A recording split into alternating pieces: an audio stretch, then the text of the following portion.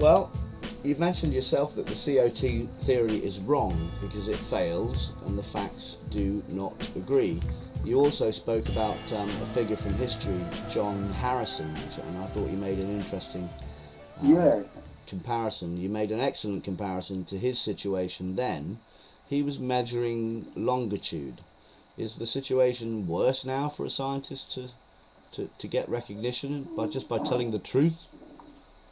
Well, I think in some respects it is worse, worse, yes, because the government's uh, industrial international complex is, is so much more powerful.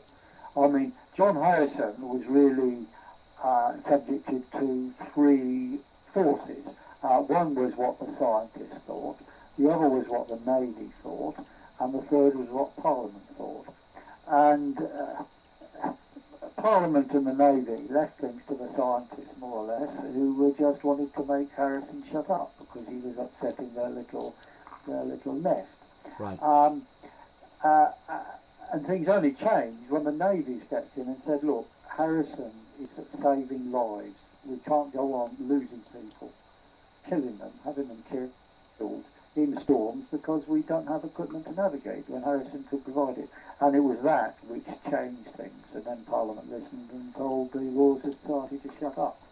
Um, no, I don't think anything will happen similarly now until, unfortunately, more people are killed by weather events, uh, some of which could be predicted and uh, which the standard meteorologist uh, will not acknowledge.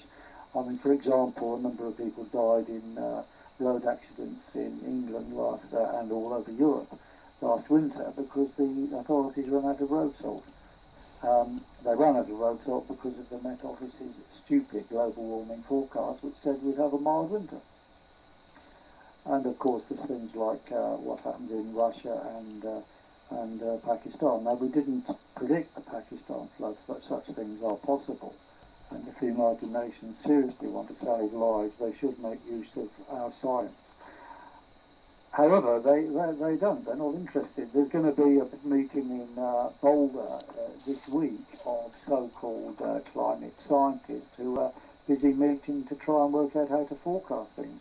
Now, we were not invited to this. They know they can't forecast things.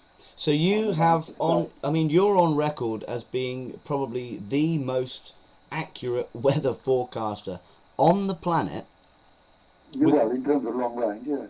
right? And you'd think that you're the sort of person that they'd be most interested to be included in that conference, but they haven't even approached you.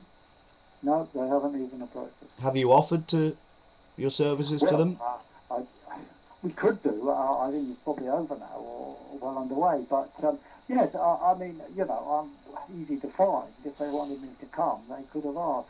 Uh, I would be happy to offer publicly here, here and now if there's any of them listening, but I don't expect there are any listening.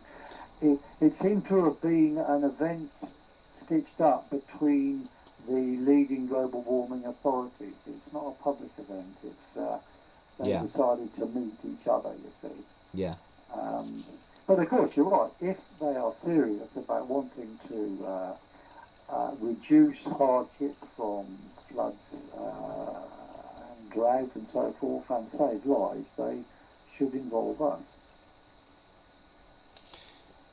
the whole climate, if you'll forgive the pun, of the politics and the media, the politics and the media all working together to espouse their theories about um, global warming, which they've had to uh, backpedal on a little bit. Um, and I will come to Climate Gate. I will get to that.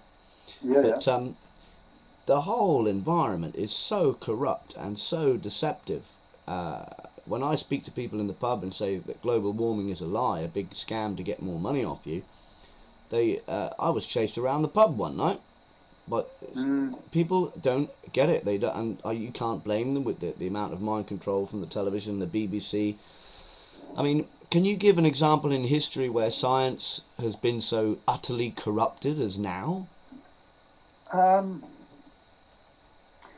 uh, no, uh, I don't think I can. Uh, I mean, obviously, in single countries, it was corrupted uh, by uh, Stalin. Uh, you, you know, they imposed certain theories and scientists who didn't agree, got into very grave trouble, and also by Hitler, uh, who, again, uh, you know, concocted theories of the master race and, and so forth, and scientists who didn't agree, uh, well, got into very serious trouble.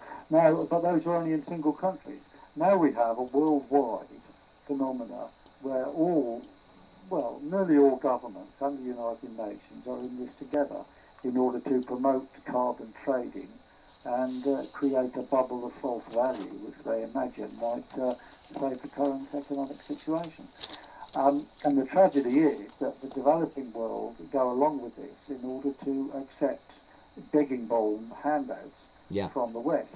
Yeah. Um, when, of course, the whole thing is designed to control the developing world and uh, make the developing world rely on uh, Western uh, technology, high-tech solutions to any problem they care to uh, either find or create, uh, uh, and so forth. So the bubble of false value is created around that.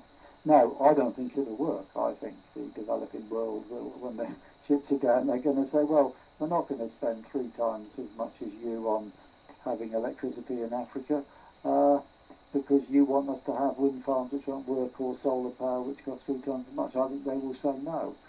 However, of course, because of the way the Western investment operates, that means the development of Africa will take longer.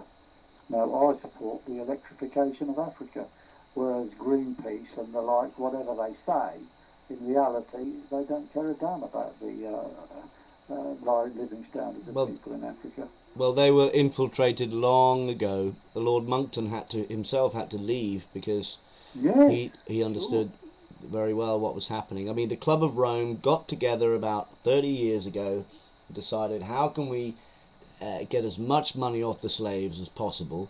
We need to invent. We need to, and they physically got together and invented.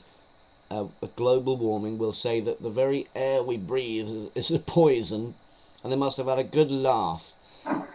And and the only companies that are going to be allowed to uh, to pollute the planet will be their own special companies, their, their own special banking Illuminati, black nobility Mhm. corporations.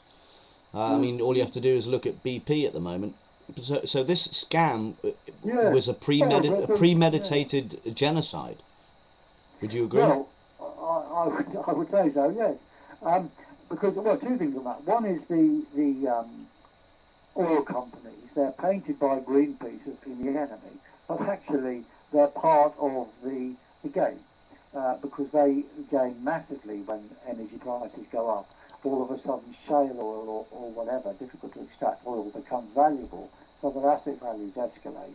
Uh, and they can therefore borrow money, and the profits go up as long as the uh, price goes up.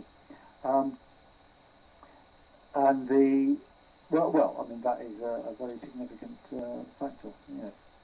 Well, Al Gore has been paraded throughout the planet as the all-seeing prophet and savior of the global warming, globally warming industry. And as David Bellamy, your colleague, so wonderfully pointed out, that indeed it is an industry.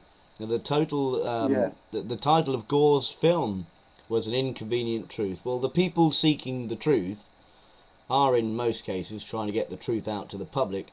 They are an inconvenience to his carbon scam. I mean, Al Gore said that the, Al Gore said that the science is settled.